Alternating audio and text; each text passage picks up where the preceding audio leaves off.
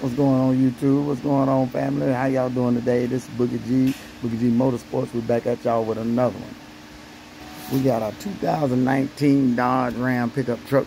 It's a nice truck. But today what we done, we put some airbags on this truck. She's gonna be pulling a food trailer. And uh, Jason, let me get one little picture of that before you get comfortable with that. I might be able to, I might be able to see it.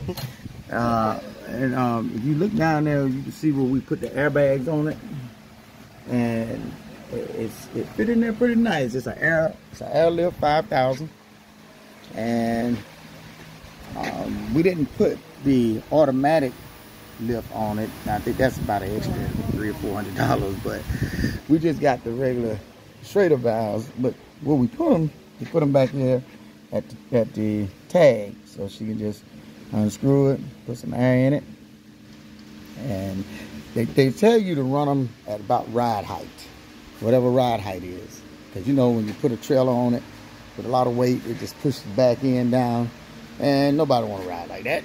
So she put an airbag kit on it, which I thought was a good idea.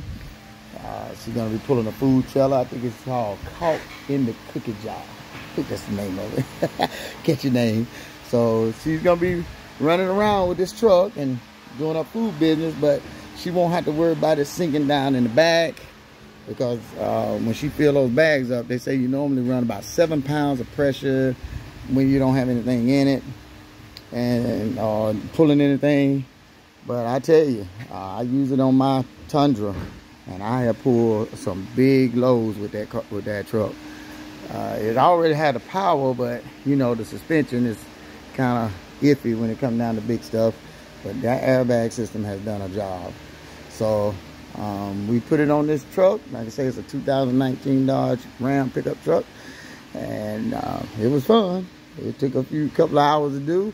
Uh, but we got it done. And, you know, so y'all that video. This is Boogie G, Boogie G Motorsports, man. Y'all keep that bell icon hit so I get these new videos. And um, appreciate everybody. Peace.